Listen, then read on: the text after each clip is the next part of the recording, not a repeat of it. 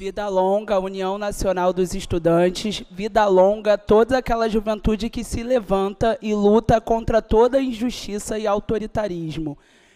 É, anuncio também a todos os deputados e deputadas que, em referência à data, em referência ao Dia da Juventude em Defesa da Democracia, hoje protocolamos o pedido de entrada de Edson Luiz no, no livro de heróis do Estado do Rio de Janeiro. Agora.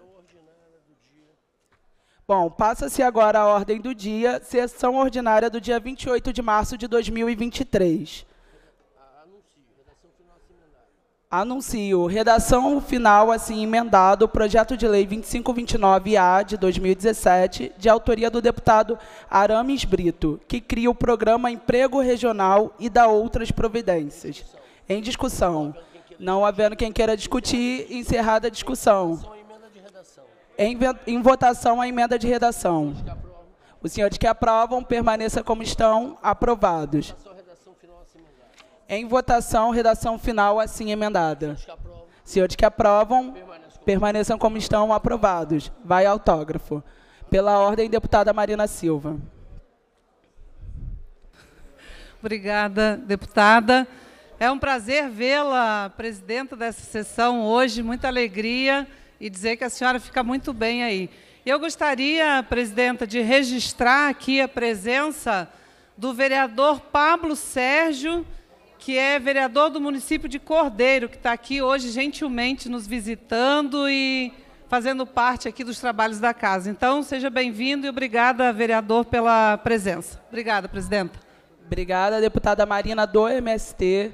E saúdo aqui também nosso vereador Pablo de Cordeiro, um parlamentar exemplar em defesa da nossa juventude e também do nosso turismo interiorano. Então, retomando aqui, é, em tramitação ordinária, em segunda discussão, projeto de lei 3889 de 2018, de autoria do deputado Zaqueu Teixeira, que altera a denominação do Centro Especializado de Atendimento à Mulher, o CEAM, localizado no município de Queimados. Em discussão, não havendo quem queira discutir, encerrada a discussão. Em votação, os senhores que aprovam permaneçam como estão. Aprovado. Vai autógrafo. Anuncio, em primeira discussão, projeto de lei 4351 de 2018. Perdão, anuncio. Projeto de lei 2563 de 2017, de autoria da deputada Marta Rocha que declara a cidade de São Gonçalo a capital do ciclismo do estado do Rio de Janeiro. Em discussão, deputada Marta Rocha. Rapidamente, aproveitando aqui a presença do deputado Diogo Ru, isso, Douglas Ruas, Douglas Ruas, que é de São Gonçalo, né? Nosso querido deputado também policial civil, eu faço apenas uma observação, presidente, não sem antes dizer da minha alegria de lhe ver à frente dessa sessão hoje, que quando esse tema veio na legislatura passada, houve uma observação de um parlamentar afirmando que São Gonçalo não tinha uma ciclovia. Portanto, não parecia lógico pensar que pudesse ser a capital do, ciclismo. Na verdade, quando a gente faz essa preposição, faz a partir de um diálogo que, desde o primeiro mandato, nós travamos com uma associação de ciclistas que nos procurou diante dos inúmeros casos de roubo à bicicleta. E aí nós tivemos a oportunidade de criar uma lei é, inserindo é, na nomenclatura dos registros de, de, de, registro de ocorrência, uma nomenclatura específica do roubo de bicicleta, a partir daquele episódio triste ocorrido na Lagoa, da morte de um médico, quando houve né, uma, um roubo de, um, de uma bicicleta, na conversa que nós tivemos, é, nos foi dito exatamente isso que alguns municípios da região metropolitana a bicicleta tinha tamanha importância e era dado destaque ao município de São Gonçalo. E eu quero dizer que foi o município de São Gonçalo, naquele debate, teve exatamente essa indicação de ser a capital do ciclismo. Quando a gente fala do ciclismo, quando a gente fala da bicicleta, a gente fala não apenas né, para impor uma ciclovia, a gente fala como reconhecimento de uma locomoção sustentável. A gente fala como para fomentar também no município de, de São Gonçalo, a partir desse projeto, a utilização das ciclovias, das ciclofaixas é, exclusivas, sobretudo, né? é porque a gente sabe o quanto a bicicleta beneficia a saúde, o quanto a bicicleta interfere na qualidade do sono, na, na melhoria da atividade, de, atividade é, do cotidiano. Então, também pensando né, que um dia o combustível irá terminar e que a gente vai poder trabalhar com uma, um, uma mobilidade urbana que não, te, não dependa dos combustíveis fósseis e com uma mobilidade que garanta né, efetivamente uma melhor qualidade de vida e um respeito ao meio ambiente. Então, por esse, é nesse sentido que eu quero dizer não só meu apreço ao município de São Gonçalo, tive a oportunidade de ser delegada titular da DEAN de São Gonçalo, Ali conheci né, uma ex-deputada, deputada Alice Tamborideg, que foi, o deputada Lucinha com certeza se lembra dela, e acho muito importante que a gente dê destaque a esse importante município da região, da região metropolitana, que é o município de São Gonçalo. Obrigada, deputada Marta Rocha. Vai discutir, por favor.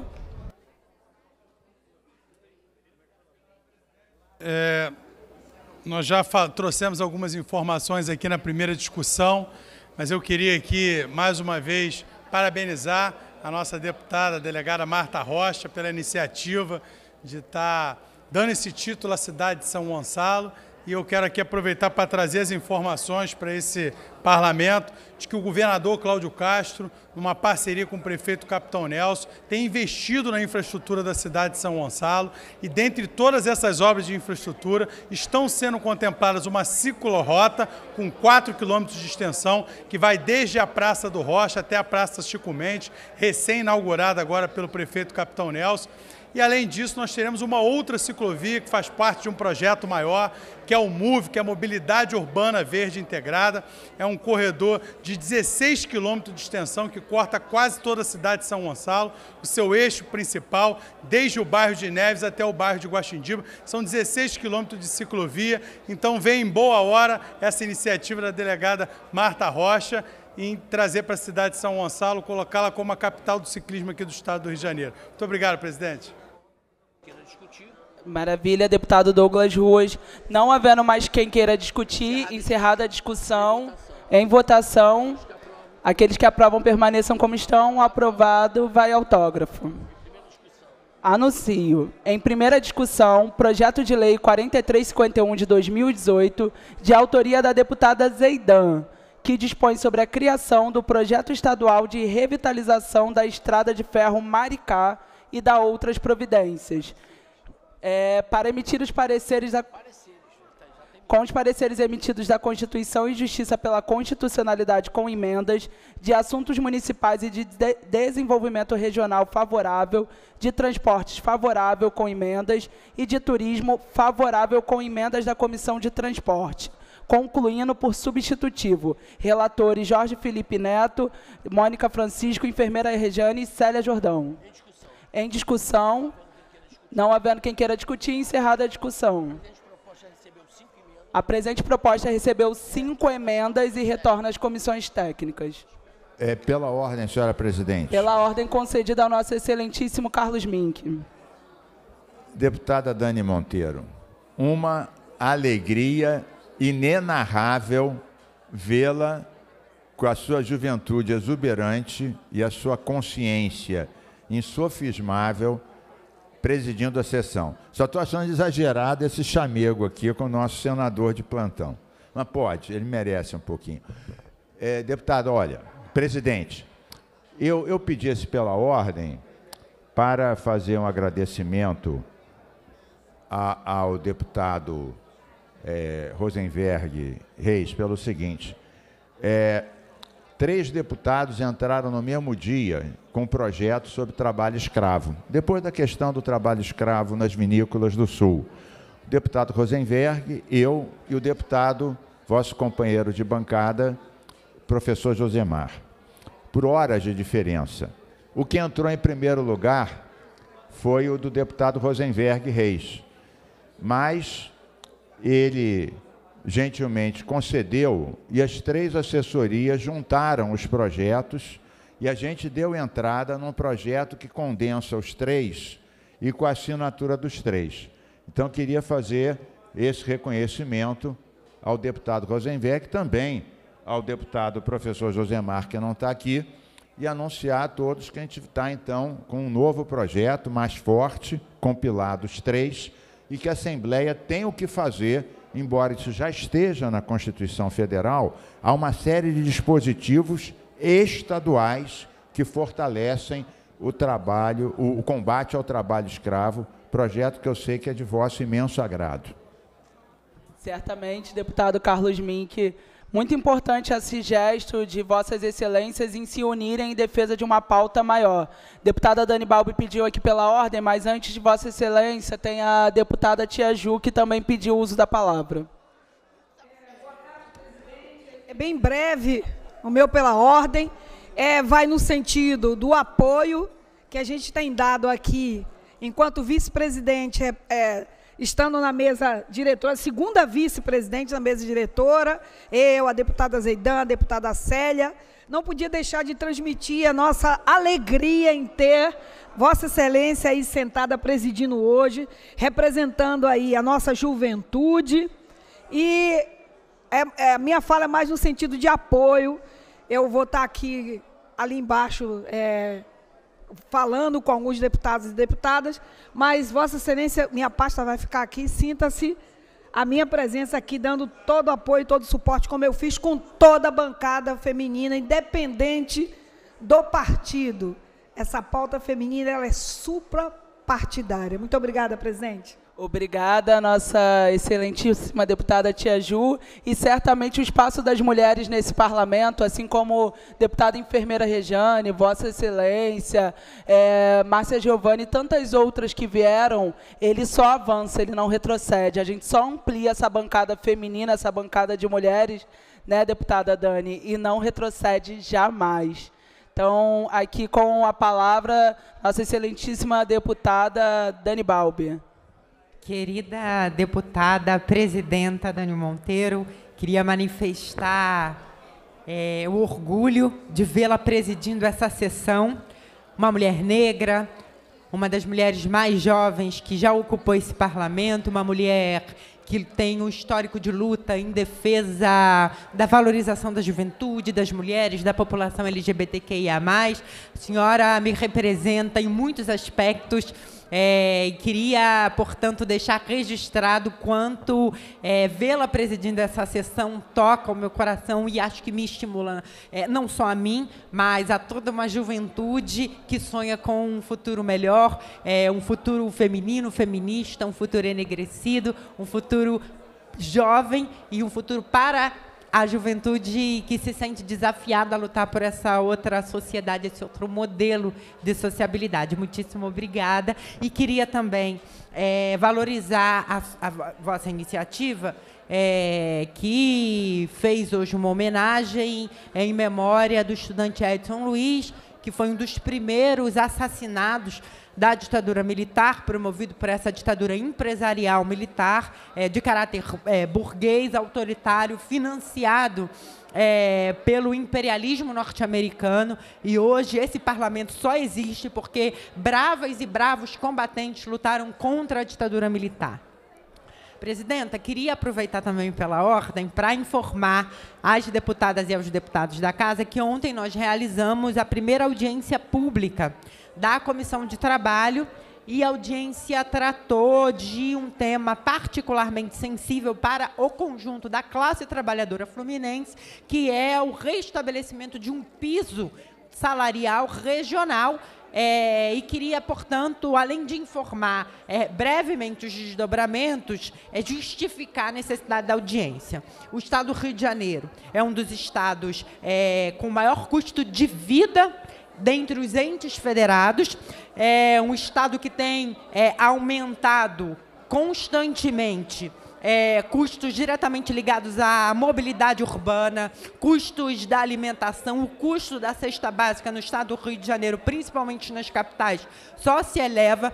Isso corrói é, o rendimento do salário, a renda do trabalho das trabalhadoras e dos trabalhadores. Isso prejudica, inclusive, é, a projeção e a prospecção de mais trabalhadoras e trabalhadores no mercado de trabalho formal, e isso, em última instância, inviabiliza que recursos possam ser drenados do ciclo financeiro da economia para o ciclo produtivo, haja vista o baixo incentivo diante de uma classe trabalhadora empobrecida que não pode gerar demanda efetiva. Então, é muito importante que o conjunto das parlamentares e dos parlamentares aqui dessa casa se sensibilizem e avancem no sentido de é, pedir para que o governo priorize o envio de mensagem dispondo o estabelecimento de um piso, de um piso mínimo regional que tenha como é, objetivo final corrigir essas perdas acumuladas nos últimos anos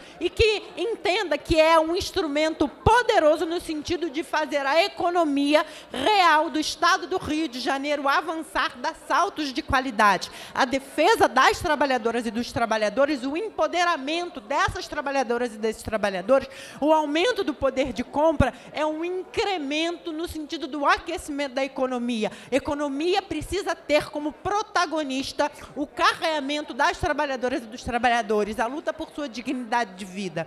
É, esse é, é o sentido e a justificativa da nossa audiência pública. Ela é, queria parabenizar a iniciativa do deputado Valdeci da Saúde, que encaminhou para a audiência pública e foi imediatamente acatado é a formação de uma comissão é, que seja composta pela presidência dessa casa, pelo presidente é, Rodrigo Bacelar, que visa negociar, abrir uma mesa de negociação com o governo. Então, acho que foi uma medida madura, uma medida importante, porque chama é, o Poder Executivo e o Poder Legislativo para que juntos possamos caminhar no sentido de um entendimento comum é, referente àquilo que só pode entregar benefícios para a classe trabalhadora. Muitíssimo obrigada, presidenta. Obrigada, deputada Dani Balbi. Costumo sempre defender que a nossa economia é feita de gente, é feita de renda na mão do trabalhador. Bom, anuncio em discussão única a indicação legislativa 315 de 20, de autoria do deputado capitão Paulo Teixeira, que solicita ao excelentíssimo senhor governador do estado do Rio de Janeiro o envio de mensagem dispondo sobre a implantação do programa Segurança Presente no bairro de Marechal Hermes, no município do Rio de Janeiro. Pareceres emitidos pela Comissão de Indicação Legislativa favorável. Relator, deputado Rosenberg Reis. Em discussão, não havendo quem queira discutir, encerrada a discussão. Em votação, os senhores que aprovam permaneçam como estão. Aprovado, vai, vai à publicação. Anuncio. Em discussão única, indicação legislativa 505 de 21, de autoria do deputado Atila Nunes, que solicita ao excelentíssimo senhor governador Cláudio Bonfim de Castro e Silva o envio. Opa!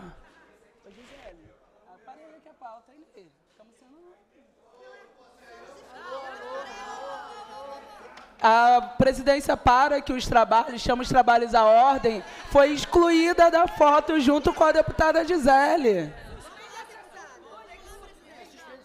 Vou suspender a sessão por dois minutos e vou aí com vossas excelências.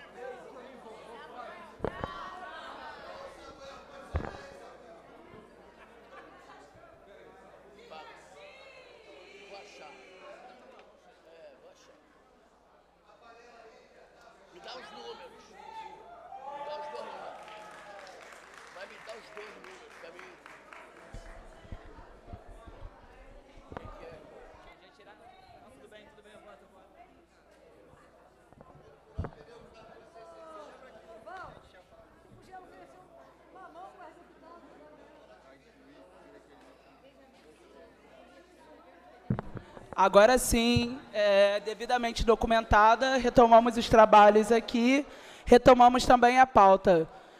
Então, na ordem do dia, anuncio indicação legislativa 505 de 21, de autoria do deputado Átila Nunes, que solicita ao excelentíssimo senhor governador Cláudio Bonfim de Castro e Silva o envio de mensagem dispondo sobre a implantação de uma unidade especializada em crimes raciais e delitos de intolerância no município de Duque de Caxias.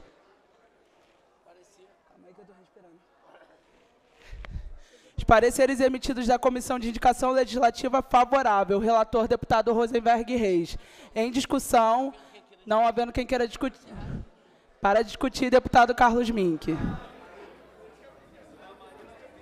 Presidenta Dani Monteiro. Na verdade, o objetivo principal da discussão era, outra vez, valorizar esse belíssimo exercício da presidência. Não, na verdade, tem mais um objetivo, é, deputada Dani, presidente, que é a seguinte: nós aprovamos uma lei da qual Vossa Excelência é coautora, também a deputada Marta Rocha, deputada Renata Souza, que é a internalização da DECRAD. Isso é lei. Então, na verdade, essa boa indicação legislativa do deputado Átila Nunes vem, de alguma maneira, fazer o cumpra-se de uma lei existente, porque a DECRAD é muito boa, mas é pequenininha e só tem aqui na região metropolitana. Tem que ter, sim, no interior. Depois de audiências públicas da Comissão contra a Intolerância e a Discriminação, surgiu um projeto, esse projeto virou lei, e essa lei tem que ser cumprida e em boa hora vem essa indicação, porque isso é a matéria que se encontra dentro de um arcabouço legal aprovado nessa casa e sancionado. Só falta ela existir no terreno. Era essa observação que eu queria fazer. Maravilha, deputado Carlos Mink. É, com a palavra, a deputada Renata Souza. Muito obrigada, excelentíssima deputada Dani Monteiro. Que importante tê-la presidindo a sessão ordinária, num dia também que a gente é, traz tantos debates, né, e tantos debates para a vida das pessoas. Então, essa indicação legislativa do deputado Atila Nunes traz para a gente um elemento que é central, a possibilidade aí de termos é, em outros espaços a implantação de uma unidade especializada em crimes raciais e delitos de intolerância. É importante dizer que a gente vai entrar no Abril Verde. Abril Verde é uma lei desta casa que nós costuramos junto com, com dif diferentes entidades religiosas, justamente trazendo debate com relação ao racismo religioso e à intolerância religiosa. No dia 3, teremos a abertura oficial, então aproveito para convidar Vossas Excelências para estarem conosco. Será no dia 3 de abril, às 18 horas, no plenário do Palácio Tiradentes, hoje Casa da Democracia, e vai ser um evento porque Abril Verde é em homenagem a Ossan.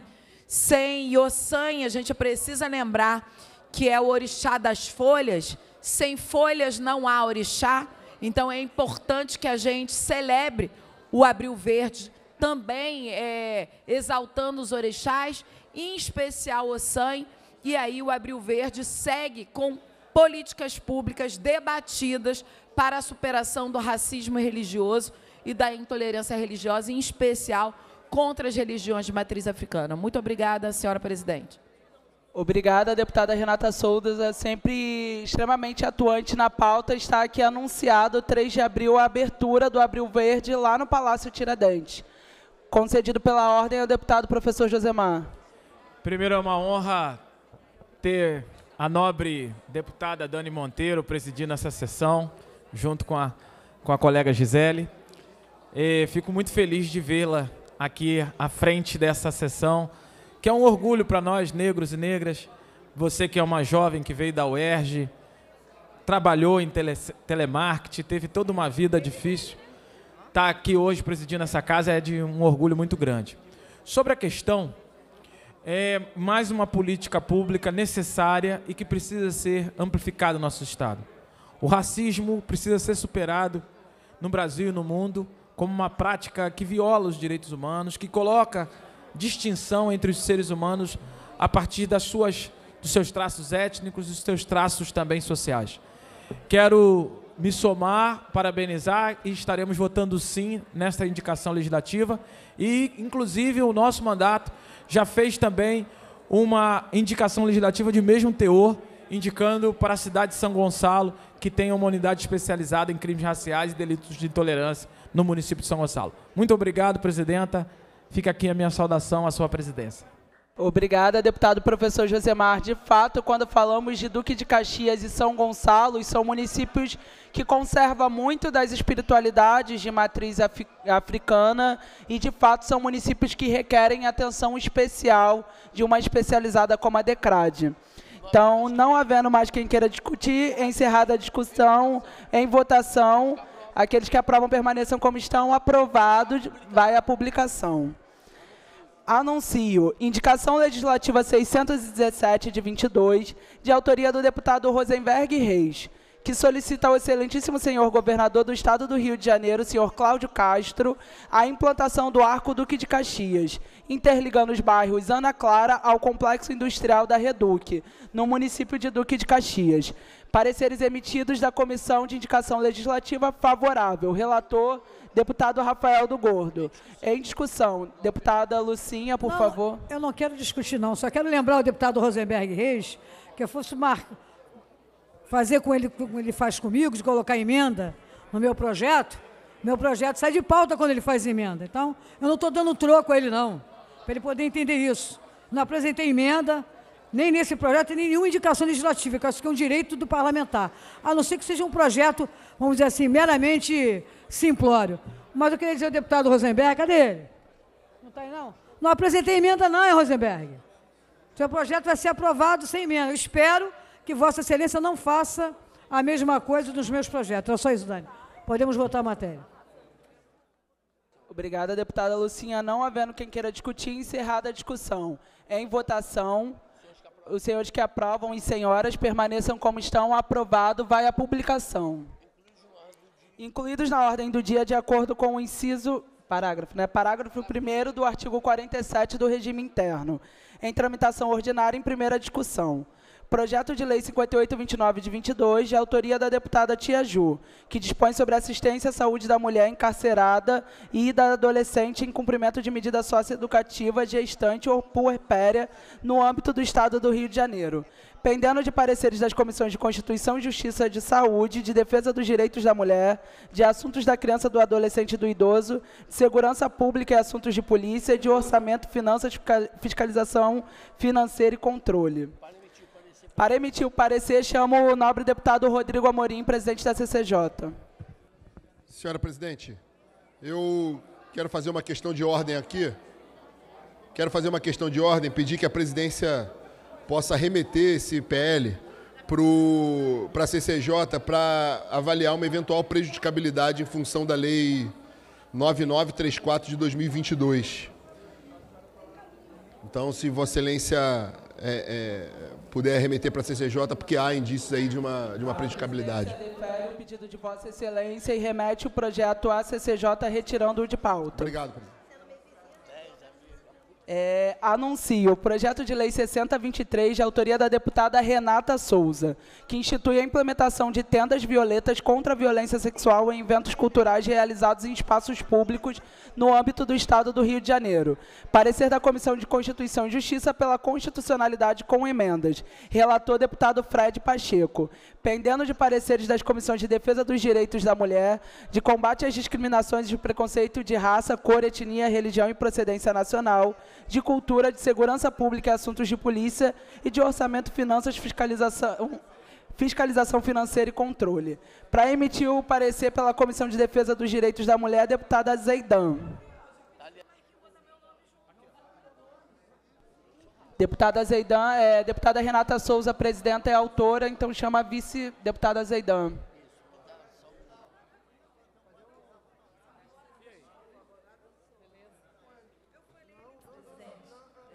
Parecer favorável.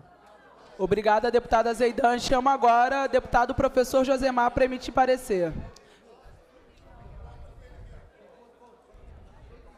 Parecer favorável pela Comissão de Combate às Discriminações, visto que é um projeto de extrema importância né, e que garante a base dos direitos humanos como fundamental.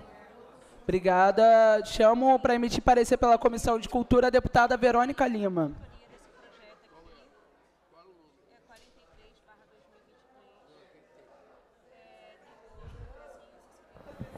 pela relevância da matéria, parecer favorável da Comissão de Cultura, presidenta. Obrigada, deputada Verônica. Chamo para emitir parecer pela Comissão de Segurança Pública e Assuntos de Polícia, deputado Márcio Gualberto. Deputado Márcio Gualberto. Chamo o deputado Felipe Soares. Deputado Carlinhos BNH. Deputado Rodrigo Amorim para emitir parecer pela Comissão de Segurança Pública. Acompanha a CCJ. Para emitir parecer pela Comissão de Orçamento, Finanças e Fiscalização Financeira e Controle, deputado está licenciado André Correia, Correia vice-presidente Carlos Macedo. Deputado Carlos não se encontra em plenário, chama o deputado Douglas Ruas.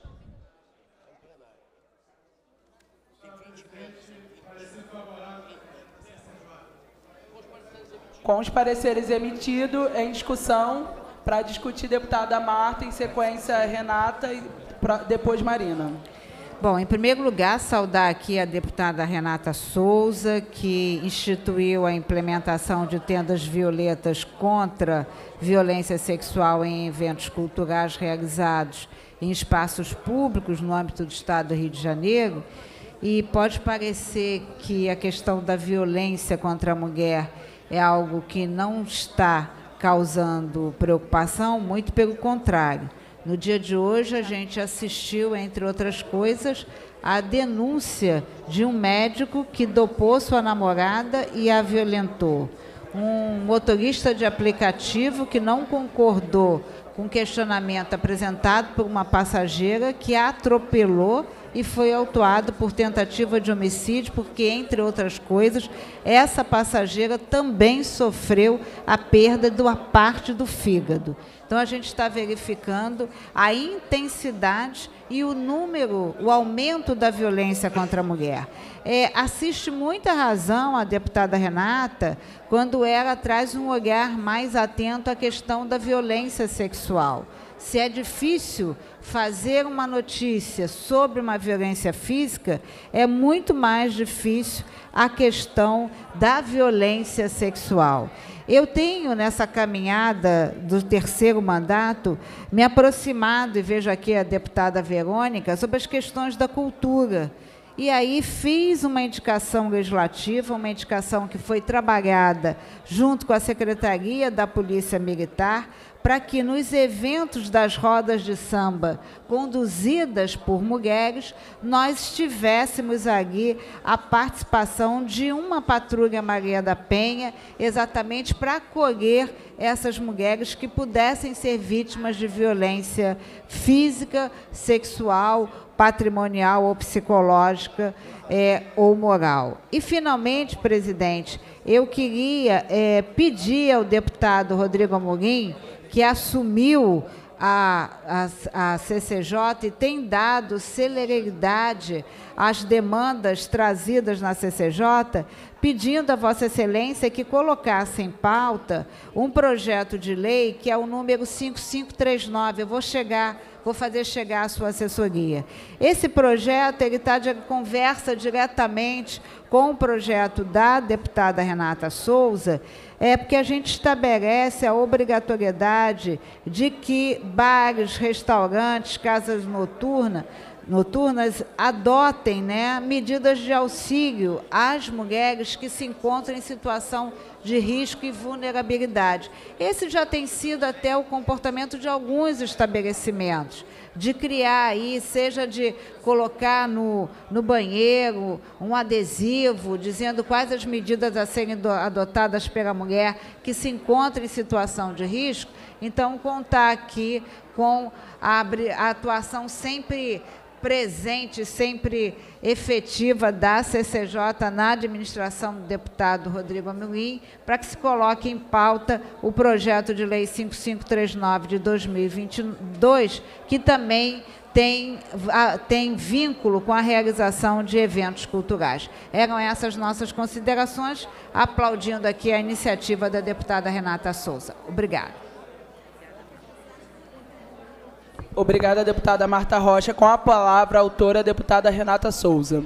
Senhora presidenta, esse é um projeto que nós fizemos também é, referenciando ao, ao que foi feito em Barcelona pela prefeita Ada Colau. A gente sabe da importância dessas tendas violetas no atendimento às mulheres que estão em situação de vulnerabilidade e, sem dúvida, a gente tem eventos culturais onde muitas vezes essas mulheres estão extremamente expostas a, a processos né, muito ruins de importunação sexual, de é, tentativa de inviabilizar essa mulher dentro do próprio evento cultural.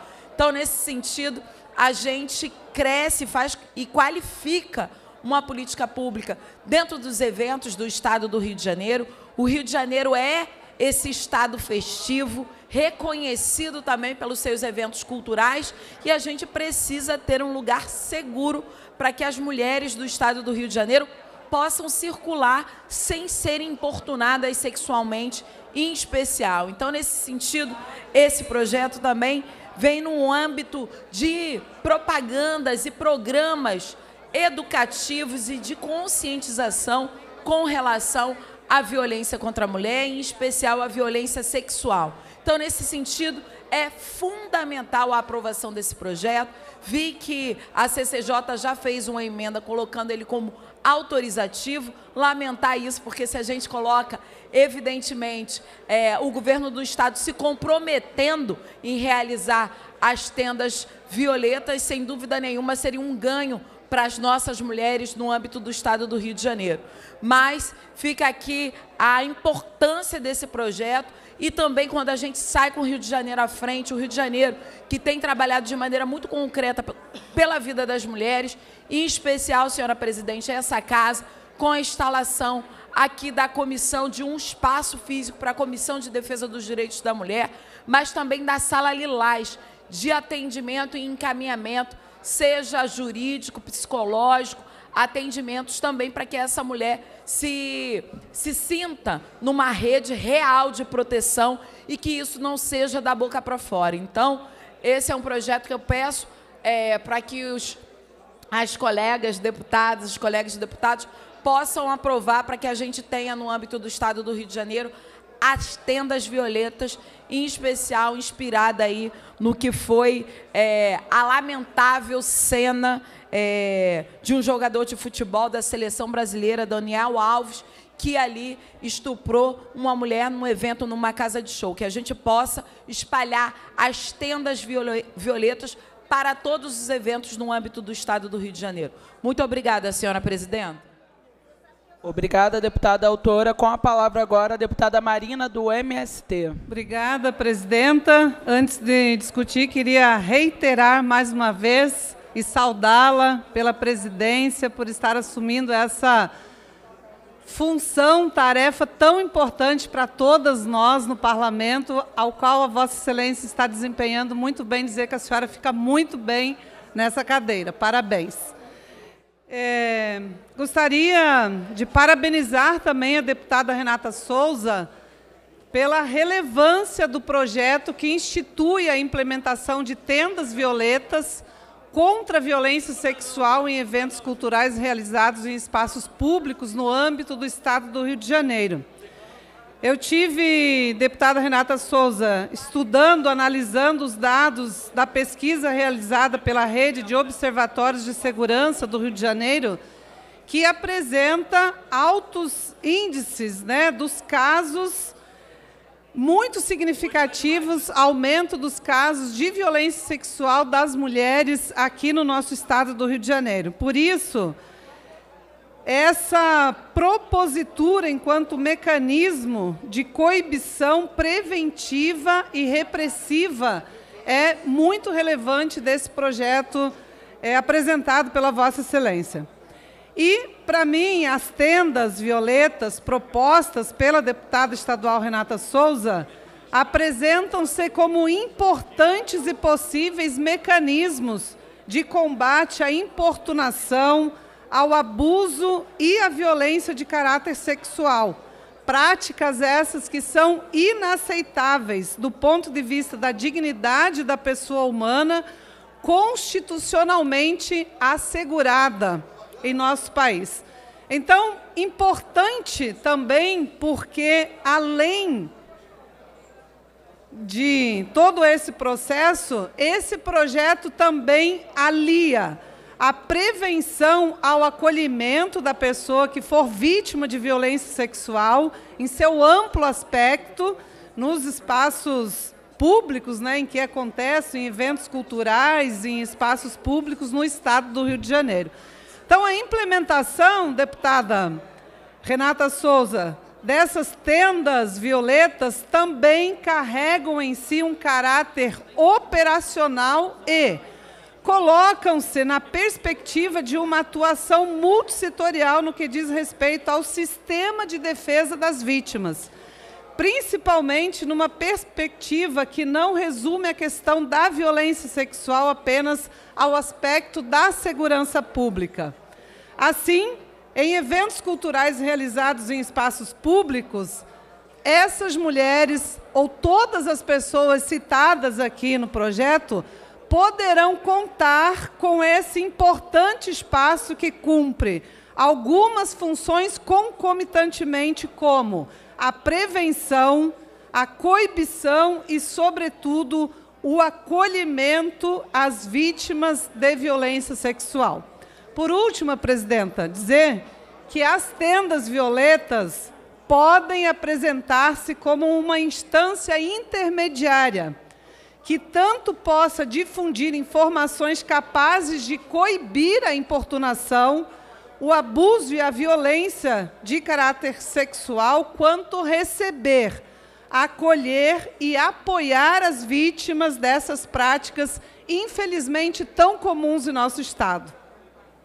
Direcionando-as, claro, se for esta a sua vontade, às autoridades policiais que possam registrar a ocorrência e tomar as providências necessárias para garantir e assegurar a sua integridade a todas as vítimas. Então, mais uma vez reiterar os cumprimentos e o parabéns à deputada Renata Souza pela relevância desse projeto eh, em nosso Estado. Obrigada, presidente. Pela ordem, senhora presidenta. Obrigada, deputada Marina. Com a palavra, a deputada Renata Souza. Senhora presidenta, fiz aqui toda uma defesa desse projeto, mas eu preciso não ignorar os dados relativos à violência sexual contra as mulheres no âmbito do Brasil. Né? É importante dizer que o Fórum Brasileiro de Segurança Pública, Tia Ju, mostrou que uma mulher sofreu violência sexual a cada 10 minutos no Brasil, no primeiro semestre de 2021. De janeiro a junho de 2021, foram 26.709 vítimas. Comparado com o mesmo período do ano anterior, ou seja, 2020, o número representa um aumento de 8,3%, quando foram registrados 24.664 casos.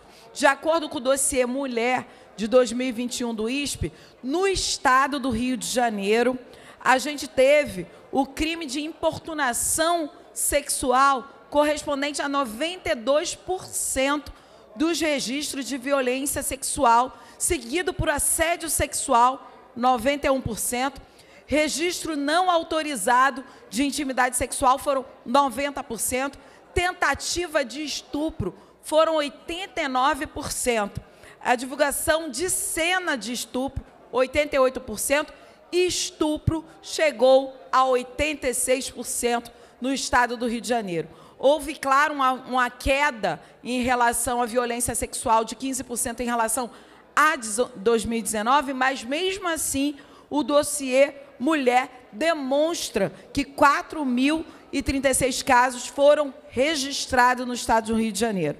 O dossiê Mulheres Negras e Justiça Reprodutiva da ONG Crioula traz também dados reveladores. Realizado por essa ONG Crioula, revela que mais da metade das mulheres vítimas de estupro, ou seja, 57% moradoras do estado, moradoras do estado do Rio de Janeiro, são negras. Ou seja, precisamos fazer um debate com relação ao corpo dessas mulheres, mas racializar esse debate é fundamental. Não à toa temos esses dados que revelam que mais da metade das vítimas de estupro, de estupro no Rio de Janeiro foram mulheres pretas. Então, nesse sentido, as tendas violetas são mais que essenciais, elas são, é, elas são existenciais, ou seja, depende de uma existência plena das mulheres no âmbito do Estado do Rio de Janeiro em todos os eventos culturais. Muito obrigada, presidenta. Obrigada, deputada Renata Souza. Com a palavra para discutir, deputado Carlos Mink. Vossa Excelência percebeu que eu estou discutindo vários projetos, eu não consigo não me dirigir a Vossa Excelência na presidência. Deputada Renata Souza, maravilha de projeto de Vossa Excelência. Aliás, seria de estranhar o contrário, né? se um projeto de Vossa Excelência não fosse para ampliar a cidadania, o direito, a própria existência. Eu queria dizer que eu sou completamente favorável, porque não basta, deputada Renata, fazer uma lei dizendo é, é crime o feminicídio. Sim, mas aí como é que você dá o combate? Como é que você cria territorialmente a prevenção, a proteção?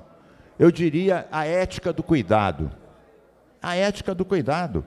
Cuidar significa proteger, ter espaços de proteção. Do que eu entendi do vosso projeto, a, as tendas violetas, a própria existência delas já significa que há um problema. Então as pessoas têm, vão perguntar, mas o que, que essa tenda violeta está fazendo aqui? Existe um problema e eu posso ajudar a prevenir, reforçando, dizendo para que, que serve, divulgando e querendo que um dia a gente não precise mais de tendas violeta. Mas hoje a gente precisa e muito, e muito. Eu queria dizer, presidenta eh, Dani Monteiro, eu me preocupo com esse tema há muitos anos e fico contente quando iniciativas como essa são apresentadas, seguramente aprovadas. Depois vamos ter que fazer o cumpra-se, senão a gente põe lá uma tenda, pinta de violeta, no meio de um evento cultural, para criar, para ver se depois aquilo realmente pega e funciona. Eu me preocupo com isso há muito tempo. Há muitos anos eu fiz a lei criando a notificação compulsória da violência contra a mulher nos hospitais. Né? Depois fizemos a lei é, punindo o assédio sexual patronal. Não é a cantada, é usar o poder para obter sexo, é chamado Odal Desce. Né? Depois fizemos vários cúmplices do Odal Desce, deputada Renata. Vários, inclusive alguns que a, a mulher chegava e dizia, olha, você me demitiu porque eu não deitei contigo no divã da presidência e tal, e o sujeito foi punido e ela voltou para o trabalho. Então, também recentemente a lei Maria da Penha nas escolas. Porque a gente tem que. O, menino não nasce machista, ele aprende a ser machista. Então, Maria da Penha nas escolas é uma lei bacana, porque começa a dar o combate no banco escolar. E agora vamos ter as nossas tendas violetas então eu sou completamente favorável. Já vou comprar uma lata de tinta violeta, deputada Renata, para quando a gente for fazer o cúmplice da lei. Ética do cuidado, território da proteção. Questão de ordem, senhora presidente. Obrigado, deputado Carlos Mink. Certamente Vossa Excelência atuou muito por aqui na casa pela temática quando muitas de nós ainda não estavam aqui. Então, toda a referência é devida. Com a palavra, deputado Yuri Moura. Senhora Presidenta, só queria também fazer uma saudação especial pela sua presença nesse lugar, conduzindo os trabalhos com maestria, com muita firmeza e como é característico da sua atuação parlamentar, com muito diálogo. Só deixar esse abraço, dizer que Vossa Excelência é uma referência para mim e uma grande companheira, que esse parlamento ganha muito em tê-la aqui. Um grande abraço. Muito obrigado, meu líder. Assim, de fato, eu fico até desconcertada aqui nesse espaço, mas agradeço imensamente. Bom, não havendo mais quem queira discutir, encerrada a discussão, o projeto recebeu 20 emendas e retorna às comissões temáticas. Bom, aqui acabou a ordem do dia. Antes de passar ao expediente final, queria agradecer imensamente a minha assessoria que tornou esse momento da nossa presidência possível. Queria agradecer aqui ao nosso excelentíssimo, nosso patrimônio, Alerdiano Marquinho, mas queria aqui também fazer uma referência especial àquele que eu visitei semana passada e foi quem me deu os toques necessários para que voltasse aqui. Semana passada estive em Brasília, conversei com o nosso ex-presidente, deputado André Siciliano, e perguntei qual era a melhor forma de conduzir esse espaço aqui. Ele foi sempre muito educado, muito solícito e me ajudou com dicas. Ele, Dani, não respire e vai. E é isso, aqui estou. Então agradeço ao nosso deputado, ex-deputado da Casa André Siciliano, Marquinho, a nossa assessoria. E é isso, gente. Nada mais havendo a tratar. Dou por encerrada a ordem do dia. Passa-se ao expediente final com o primeiro orador escrito, deputado nobre, deputado Luiz Paulo, nosso jovem militante. E relembrar aqui, deputado Luiz, antes de passar a palavra a Vossa Excelência, em defesa a toda a juventude resiliente que jamais se calou e resiliente lutou contra o autoritarismo. Então, Edson Luiz está presente em cada jovem que não se cala e certamente está presente no coração de Vossa Excelência.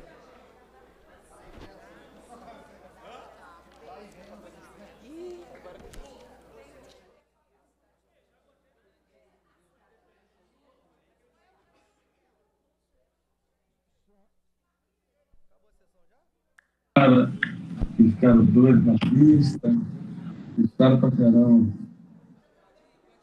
Fala, amigo, tudo bem? Eu quero Vamos saudar a presidente, mas primeiro preciso saber quem é que é a presidente, né? Sou eu, deputado. Estou aqui lhe ouvindo. Jamais lhe abandonarei. Muito obrigado, senhora presidente, deputada Dani Monteiro. Imensa satisfação de ter uma filha de Obá presidindo os trabalhos dessa casa no final da tarde de hoje. Senhora presidente, primeiro, Vossa Excelência, em homenagem a todos os jovens que, na sua natural rebeldia, jamais se conformaram com os regimes ditatoriais ou até mesmo com aqueles regimes que visam esse objetivo e deram o melhor de suas vidas para que a democracia prevalecesse no nosso país, Vossa Excelência evocou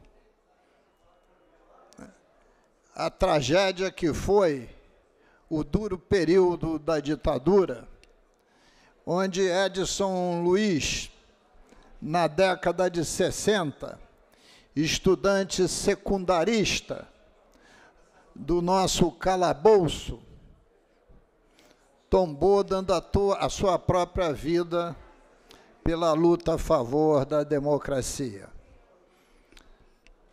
Essa sua homenagem no escala fundo porque vivemos intensamente esse período, visto que aquela época iniciávamos a nossa vida política dentro da escola de engenharia. E foi o movimento estudantil um dos grandes sustentáculos à época da luta contra o autoritarismo e Edson Luiz é, sem dúvida nenhuma, um, dúvida nenhuma o símbolo dessa luta que perpassa as décadas e há de ser sempre referenciado. Mas, senhora presidente, falar sobre um tema aqui que também é sensível a Vossa Excelência. Estamos todos chocados com o crime havido em uma escola onde um jovem de 13 anos matou a facadas no estado de São Paulo uma professora voluntária de 71 anos de idade, aposentada do serviço público que era, que foi para a escola pública porque considerava que se ela desse sustentáculo, pelo menos a uma daquelas crianças, a ida dela como mestra na escola pública já estaria a atuação já teria sido já estaria sendo de bastante relevância. E este adolescente de 13 anos foi dominado por duas outras bravas professoras que o imobilizaram e conseguiram, conseguiram tirar a faca da mão do mesmo. Isso é o relato da imprensa. E por que, que eu estou trazendo esse tema? Porque sou autor de uma lei, Lei 9.456, de 12 de novembro de 2021, que contou com seu voto, contou com o voto da deputada Renata, que criou o programa de apoio psicossocioemocional nos estabelecimentos de ensino da rede pública estadual do Estado do Rio de Janeiro. Programa de apoio psicossocioemocional na rede pública de ensino, para atender o corpo docente e o corpo discente. Porque esta rede, ela sofreu muito no período pandêmico. O número expressivo de doenças psicossocioemocionais cresceram assustadoramente. À época do projeto, eu verifiquei que, possivelmente, por estudos feitos, 10% do corpo docente discente estaria afetado por algum tipo de distúrbio. Me lembro que a deputada Renata Souza também teria feito um projeto da mesma envergadura, visando especificamente as comunidades carentes, na mesma toada. Porque a doença emocional, senhora presidente, ela não passa com o passar do tempo. Ela precisa de atenção, acolhimento e tratamento, porque senão ela se agrava. A pandemia exacerbou essa questão. E não é porque a pandemia vai passar que o problema se resolve, ao contrário, ele se agrava. E quando se agrava, podem até, por não ter esses programas, ser as causas indiretas dessas tragédias. Porque como você pode evitar essas tragédias? Essa que é a questão. Não é uma questão de polícia, não é. Pode ser até por derivada segunda, ter alguma inserção aí. Mas as questões fundamentais são psicossocioemocionais. Por isso, queria lembrar da Lei 9456 de 21, porque essa casa cria programas, muitos desses programas viram leis, mas não são efetivados. São apenas uma emenda, uma série de artigos, boas intenções e justas intenções, mas que não são efetivadas. E eu queria novamente chamar a atenção sobre esse tema, porque terei oportunidade ao longo dessa semana de me aprofundar sobre a sociedade que nós estamos vivendo, que eu intitulo, como outros autores e cineastas já fizeram, que é a sociedade do medo. O medo impera na nossa sociedade. Muitas vezes, pela ausência de políticas públicas, outras vezes, por causa de toda sorte de preconceitos, outras vezes, porque é cessada a liberdade de ir e de vir, porque muitas áreas estão dominadas por milícias ou narcotraficantes que são faces de mesma moeda. Outras horas, em outros momentos, o medo está em todo lugar, viva função da miséria social que nós passamos. Outras vezes o medo deriva das tragédias ambientais, função do desarranjo ambiental que passa o mundo. Outras e muitas vezes os medos deriva de uma guerra nuclear possível pela invasão da Rússia à Ucrânia e a confrontação com a OTAN outras vezes pelas tensas relações derivadas dos Estados Unidos com a China e mais recentemente, senhora presidente, um determinado presidente de um país chamado Coreia festejou a hipótese de ter testado com sucesso um drone que afundou, capaz de gerar, vou ficar por enquanto no maremoto, para não dizer tsunami, mas gerar um tsunami radioativo, né? porque esse drone estaria com uma ogiva nuclear. Em não satisfeito de poder gerar né, um maremoto, um tsunami, ainda tinha que ser radioativo.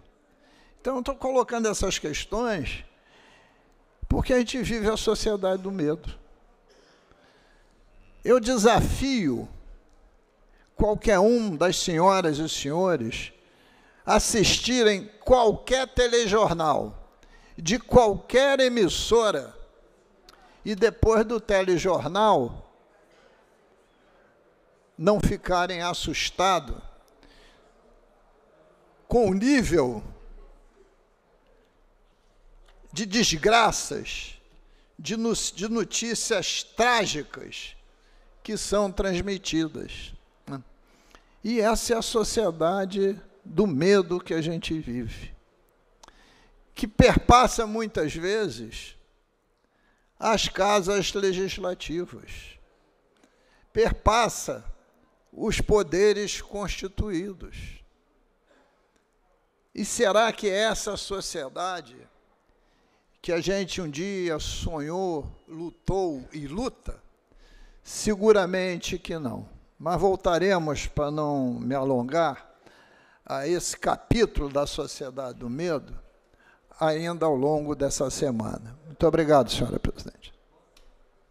Obrigado, nosso decano, e certamente esse poderia virar um livro e quero reflexões mais contínuas aqui dentro desse espaço do expediente final. Agradeço o deputado Luiz Paulo. O próximo orador escrito é o nobre deputado Felipe Poubel. O senhor dispõe de 10 minutos do tempo regimental.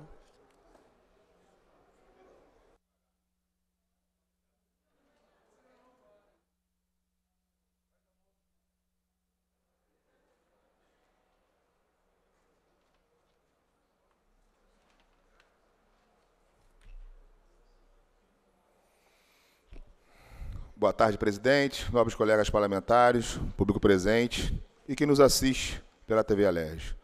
Presidente, venho hoje a essa tribuna muito feliz pelo, pelo fato acontecido ontem. Tive o prazer, junto com o deputado, meu amigo irmão Guilherme Delaroli, o vereador Ricardinho Netuno de Maricá, receber o governador e levar boas notícias para a cidade de Maricá, a nossa cidade querida. É um anseio muito grande da população ter segurança, ter o seu direito de ir e vir garantido pela Constituição, prevalecendo dioturnamente. Infelizmente, Maricá vem perdendo a sua essência por conta da violência.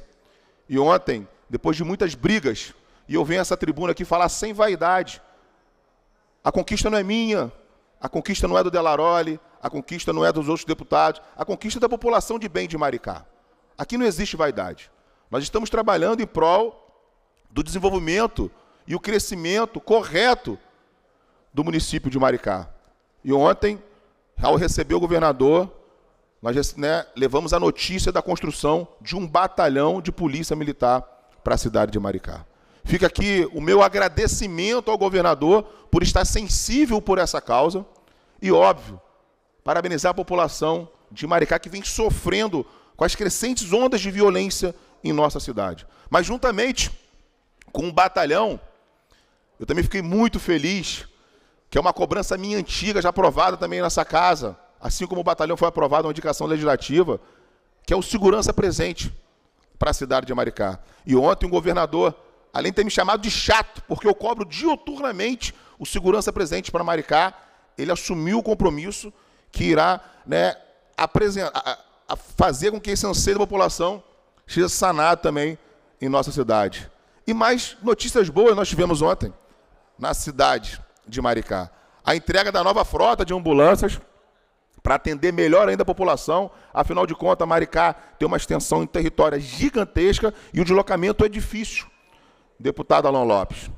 Então, além da frota das ambulâncias, do batalhão, mais outra notícia boa e eu agradeço ao governador, um novo Detran para Maricá também. Então é o governo do estado presente, mesmo numa cidade bilionária, que não faz jus ao orçamento que tem. Uma cidade rica, com um orçamento de 7 bilhões e meio, mas que o governador não deixou de fora do investimento do Estado. Então fica aqui o meu agradecimento ao governador, ao secretário estadual de saúde, doutor Luizinho, a toda a equipe do governo do Estado que se empenharam nos estudos para essa conquista do novo batalhão. Juntamente com o deputado Guilherme Delaroli, com o vereador Ricardinho Netuno, eu tenho certeza que juntos o governo do estado nós vamos transformar a cidade de Maricá. E deixar aqui meus parabéns ao prefeito, meu amigo parceiro Marcelo Delaroli, pelo lançamento do, do, dos ônibus gratuitos Laranjinha em Itaboraí. Uma inovação e homenagem né, à cidade da Laranja, que é o município de Itaboraí. Parabéns, prefeito Delaroli, parabéns, deputado Guilherme Delaroli, parabéns ao governador. A parte Delaroli. Obrigado, deputado Pobel. Boa tarde, presidente. Queria falar sobre isso. Itaboraí vai ter ônibus gratuito, sim. E deixar aqui meu repúdio, que a deputada Zeida ontem lá na Câmara Municipal de Maricá, zombou do ônibus Laranjinha. Dizer para ela que Itaboré é a terra da laranja e que essa é uma cultura da cidade. Então, o prefeito colocou o ônibus Laranjinha em homenagem à cidade de Itaboraí e pediu para ela estudar mais um pouquinho antes de falar besteira. Obrigado, deputado. Opa, deputado. Mas é assim, o deputado Guilherme Delaroli, infelizmente, eles acham que podem tudo né? e zombar ainda de uma cidade a qual ela está almejando né, lançar uma candidatura a prefeito. Então fica aqui um alerta à população de Itaboraí, que antes mesmo de ser prefeita, ela já zomba dos laranjinhas, zomba da cultura daquela cidade maravilhosa. Parabéns, prefeito Guilherme Delar, eh, Marcelo Delaroli e o deputado Guilherme Delaroli. É, obrigado, deputado Felipe Poubel. Chama agora a próxima oradora, inscrita a deputada Renata Souza.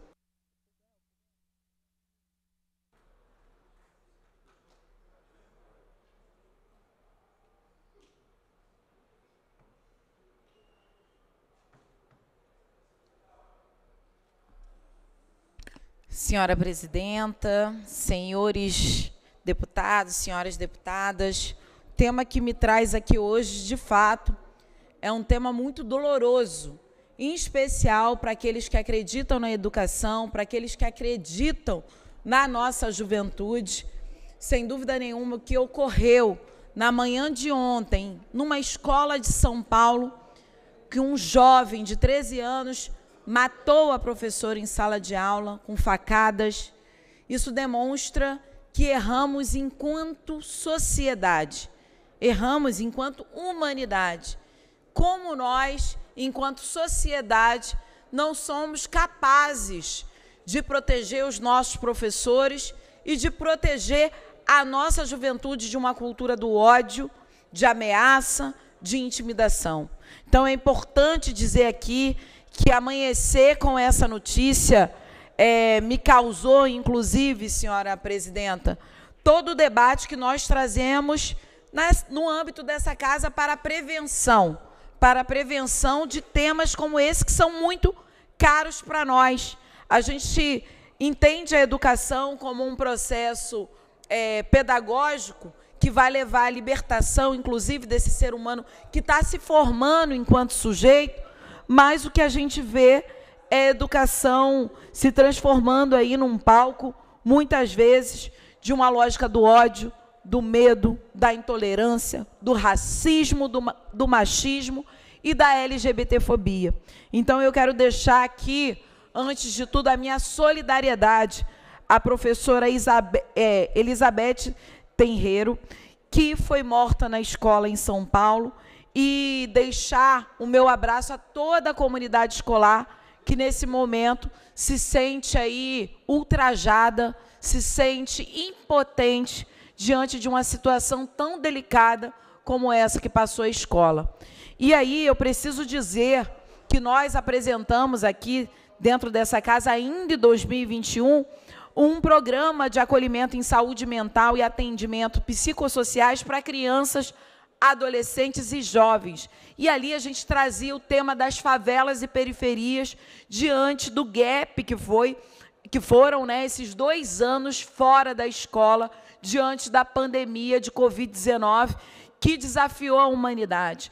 Esse é um programa que atende a crianças, adolescentes e jovens de 10 a 29 anos virou lei no âmbito do Estado do Rio de Janeiro em 2022 e hoje está sobre a lei número 9.775, só que não vemos o governo do Estado implementando essa lei, em especial nas escolas, essa lei sendo reconhecida, inclusive, na oportunidade de prever situações de saúde mental que podem levar a essa criança, esse jovem, para uma situação completamente abrupta e violenta como essa que a gente já viu em São Paulo, mas a gente não pode deixar é, de lembrar do que aconteceu no, no, Rio de Janeiro mesmo, com a escola Tássio da Silveira, em Realengo, quando um jovem adentrou e matou, fez uma chacina na escola em Realengo. Então a gente precisa, e por isso, até bom lembrar aqui, em coautoria com o deputado Júlio Lopes, Júlio Rocha, fizemos um projeto de lei encarando ali uma semana verde e branco aqui no mês de abril, que é a semana justamente onde teve esse massacre na escola de Realengo, para falar do bullying da escola, para falar de toda uma situação que muitas vezes essa juventude é levada a uma situação maior de violência. Então, nesse sentido, a gente já pediu é, urgência nesse projeto de lei, também para rememorar aqueles e aquelas que sucumbiram diante de, de, de tamanha violência no, no Colégio Tassi da Silveira, em Realengo. E aí, senhora presidenta, importante dizer também que hoje, deputado Flávio Serafini aqui está, é, foi o lançamento, o relançamento de uma frente parlamentar de saúde mental e de luta antimanicomial. Essa frente, presidida pelo deputado é, Flávio Serafini, busca também trazer esse debate da prevenção que é tão fundamental. E ali, na manhã de hoje, quando fazíamos o relançamento dessa frente, inclusive com a presença da diretora é, em saúde mental do Ministério da Saúde, né, a senhora é, Flávio, se quiser uma parte, tá? é, a senhora Sônia Barros, onde ouvíamos toda a pretensão e compromisso da senhora Sônia Barros, também na superação da luta, né, dessa lógica antimanicomial imposta hoje na política pública, mas não só isso, de como a gente fazer ações preventivas para a saúde mental, trabalhando sim o reconhecimento dos profissionais da saúde mental, mas mais que isso, a gente garantindo estruturas no Estado, com os CAPs, com o REPs, para que possa atender a população em sofrimento mental de maneira concreta. E ali eu falava que o Sistema Único de Saúde precisa estar irmanado com SUAS, que é o Sistema Único de é, Assistência, justamente porque essas ações precisam ser integradas para que as nossas, é, as nossas prevenções com relação ao sofrimento psíquico possa ter uma qualificação maior no seu trabalho. Então, nesse sentido, hoje, não só lamentar essa situação, mas lembrar que o Rio de Janeiro já viveu essa situação e que nós precisamos prevenir. Já tem leis aprovadas por essa casa e sancionada pelo atual governador, mas não vemos vontade política do governador para executar essa lei, essas leis e garantir um trabalho de prevenção dentro das escolas, dentro das unidades de saber. Isso é importantíssimo. Quando eu falo de escolas, a gente também precisa pensar no sofrimento psíquico, psíquico que a nossa juventude passa dentro das universidades. Então, a gente tem um processo de aumento de suicídio.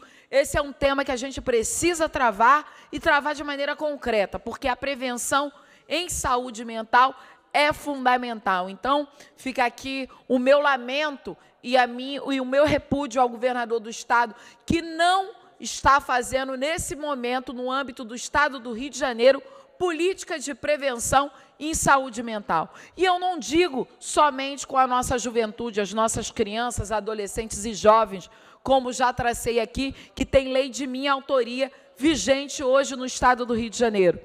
Mas fiz também um programa de acolhimento em saúde mental para aqueles e aquelas que fazem parte da, da, das estruturas do Estado, sejam agentes de segurança pública, do DEGASE, inclusive bombeiros, para que possam essas pessoas que carregam a arma terem a sua saúde mental de maneira concreta. A gente já viu que o grande baixa, o grande índice de baixa nas, é, nas polícias do Rio de Janeiro são justamente por conta do sofri de sofrimento psíquico. Ou seja, o governador do estado, esse que opera cotidianamente chacinas dentro das favelas e periferias, diz que defende o policial, mas não é capaz de agregar um programa para a saúde mental daqueles que carregam armas e que precisam sim assegurar a segurança da população do Rio de Janeiro, mas também a sua própria segurança. Então, fica aqui a hipocrisia colocada do, no governo do Estado, que diz que defende a população, mas que, no final das contas, não faz qualquer sentido as leis que aqui aprovamos, porque vira lei morta com esse governador que não defende a vida. Pelo contrário, é, opera uma lógica cada vez mais nefastas seja no âmbito da segurança pública, que ignora a possibilidade de existência da população, vide ao que presenciamos é, no Salgueiro com a chacina que teve no último, na última semana, mas também diante do que é a vulnerabilidade com relação à saúde mental no âmbito do Estado do Rio de Janeiro. Uma política pública que se faz presente, que constrói possibilidade de prevenção em saúde mental e acolhimento a nossa sociedade precisa de efetividade. Então, essa casa já aprovou, já é lei no âmbito do Estado do Rio de Janeiro, mas não há vontade política do governador Cláudio Castro em implementar. Então, fica aqui o meu repúdio e, ao mesmo tempo, a minha solidariedade àqueles e àquelas que sucumbiram ou sucumbem com é, o sofrimento mental. Muito obrigada, senhora presidenta. Obrigada, deputada Renata. Chamo agora para fazer uso da palavra o nobre deputado Flávio Serafini.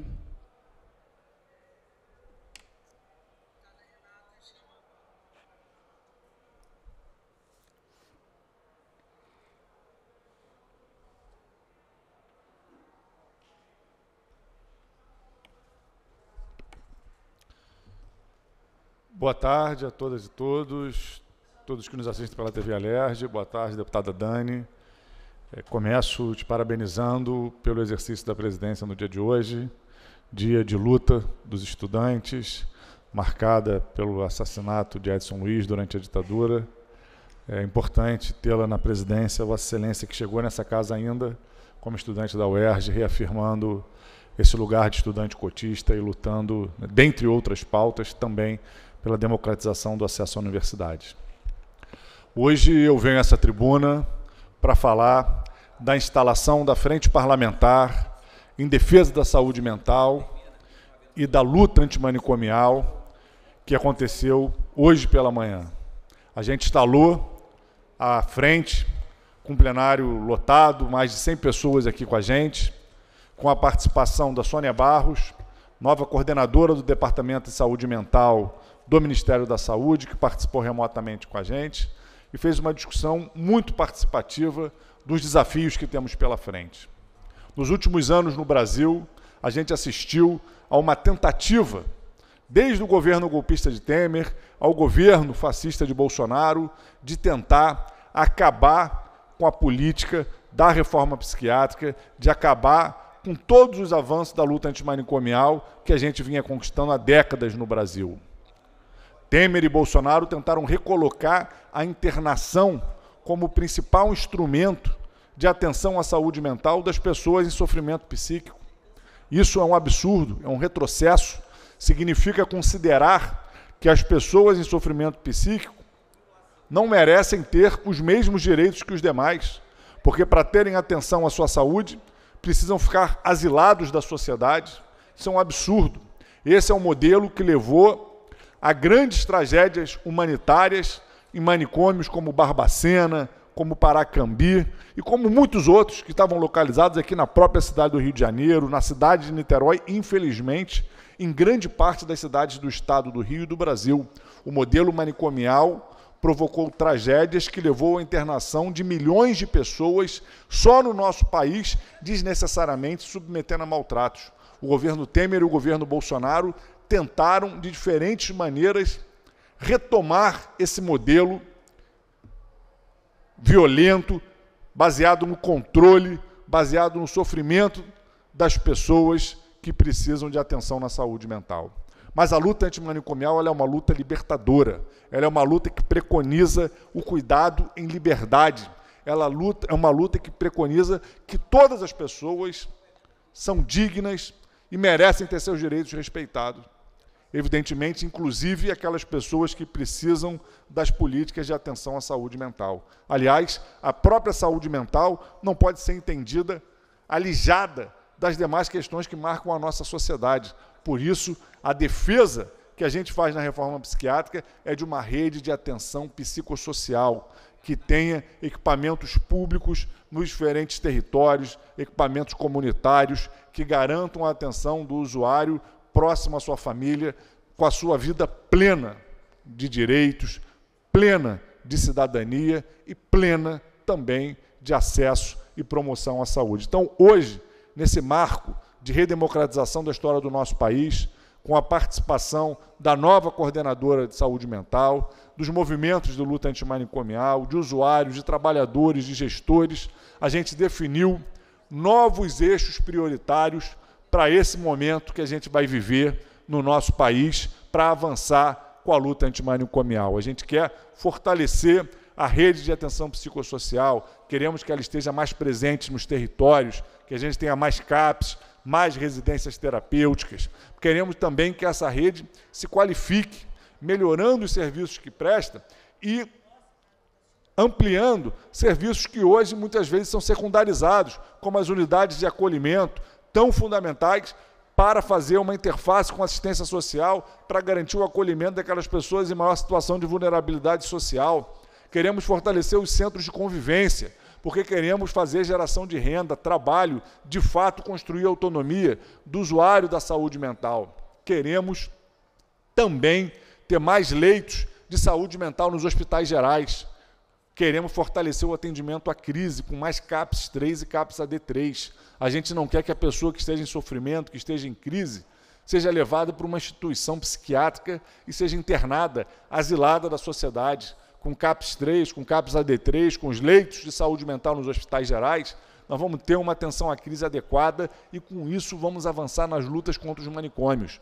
Manicômios, aliás, que tentam né, se apresentar com uma nova cara, mas vestindo a sua velha roupa através das comunidades terapêuticas, que são, muitas das vezes, asilos religiosos que tentam né, é, é, impor reformas morais aos usuários abusivos de álcool e, outra, e outras drogas, como não se fossem sujeitos também que deveriam estar recebendo atenção à sua saúde mental e não imposições comportamentais né, autoritárias e de controle. Então, a gente precisa avançar.